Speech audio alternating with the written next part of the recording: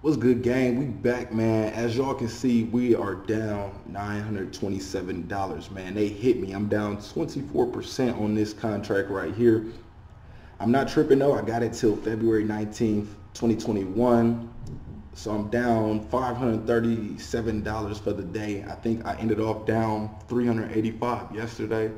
So that's just a part of the game, man. So you win some trades, you lose some trades. Sometimes you're wrong. You're not going to be right every single time. Not a trader on earth is right every single time. So those times that you're wrong, you know, just understand that's a part of it. But don't make a rash decision. If you felt in your gut that this was the way that it was going to go and you had your reasons, you looked at the charts, you did your math, then hang in there especially if you got it for long enough. A lot of people make the mistake of buying these weeklies. They get them that expires the next Friday or that Friday.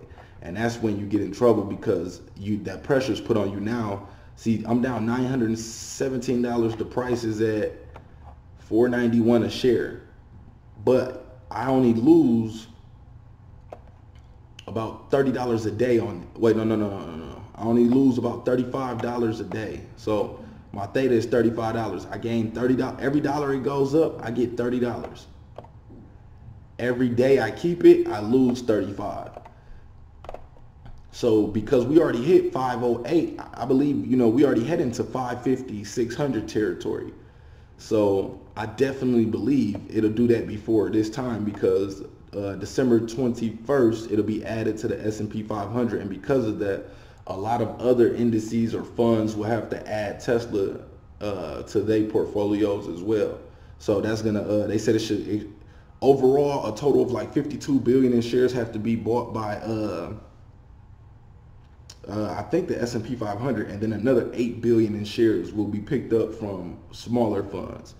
But uh, I'm gonna update y'all, let y'all know when we sell it. Matter of fact, let me show y'all the charts real quick.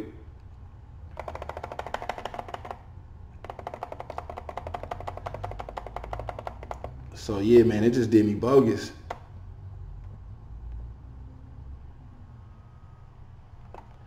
So I bought in yesterday around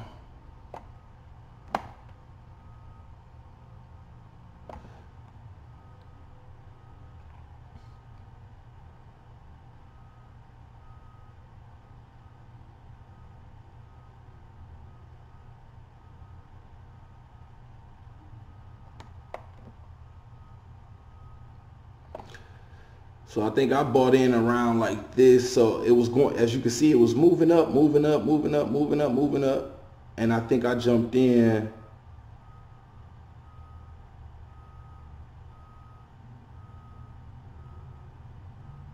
I think I jumped in somewhere right as this began to dip.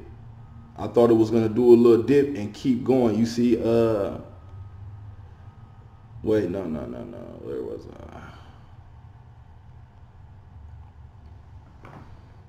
Okay, yeah, that is right. That is where I bought in at. So I thought it was gonna dip and just keep going. I thought it was gonna break out of this. You see the, uh, you see my uh, my lines I got it in, my my uh, support here and my uh, resistance. I thought it was gonna stay up and move up around here. You see an end off around this 420, 423 mark right here. So that's what I was banking on. I still feel I got a chance that it'll go there. I just gotta hold it a, a little longer now. So let's just see where we at. Okay, so we doing a little bit better. We down 887 instead of 927. So I'm gonna update y'all and check back in with y'all once uh this is uh done. Check the uh, group. I'm gonna drop my link for your first free stock. If you haven't got that yet, make sure you get your first free stock with Robinhood.